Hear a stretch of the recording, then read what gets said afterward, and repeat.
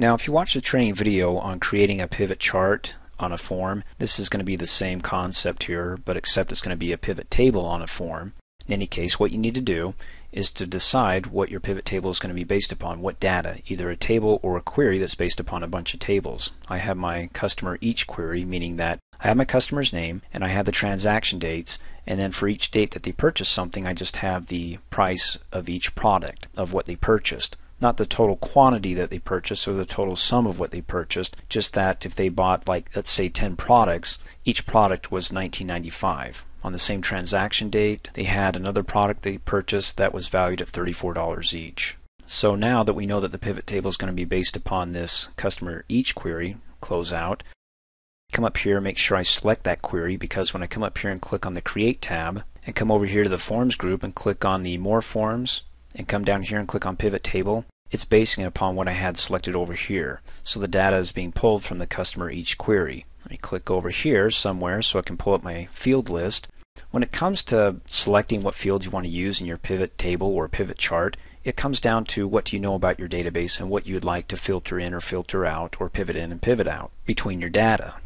So here for my pivot table I'm going to click on my customer name and say that it's going to be a row field and click and drag it and drop it on the row field where it says drop row fields.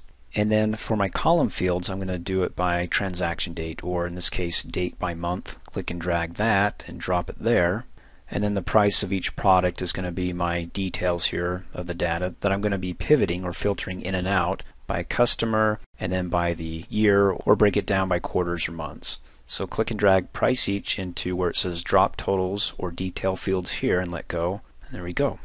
So looking at this, I've got at least the customer name, All Weather Sports, and I have all these different prices here. And these prices are representative of the price of each product that was purchased. Not the number of products, or the total number of products of that transaction date. But for this date or for this price, they purchased 1 or 20 or 100, but the price of each product was $39 for that transaction date because they came back later and purchased the same product again, maybe 30 or 40 or I don't know what the quantity is, but the price of each product that they purchased on that day for that particular product was $39.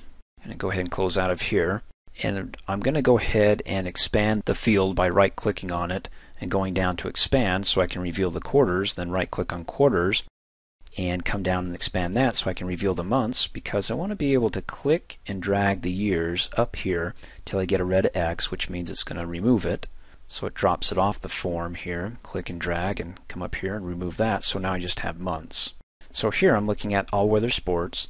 The price of each product or the product that they purchased was $39 for January they didn't purchase that same product it looks like because I don't see a repeat of the price of that product in uh, February, but they came back and it looks like they purchased that in March.